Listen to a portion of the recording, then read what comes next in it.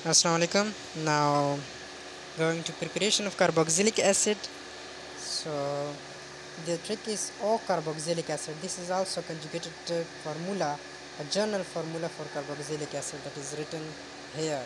This is alkyl group and this is so OCOH O for oxidation of primary alcohol, C for carbonation of Grignard reagent, O for oxidation of aldehydes, O for oxidation to alkyl benzene and H for hydrolysis of nitriles. So these are some methods of preparation of carboxylic acid that you should to remember. That is OCOH oxidation of primary alcohol, C for carbonation of Grignard reagent, O for oxidation of aldehydes, and uh, another is oxidation of alkyl benzene, hydrolysis of nitriles. So please do follow and like our video. So OCOOH is a trick to remember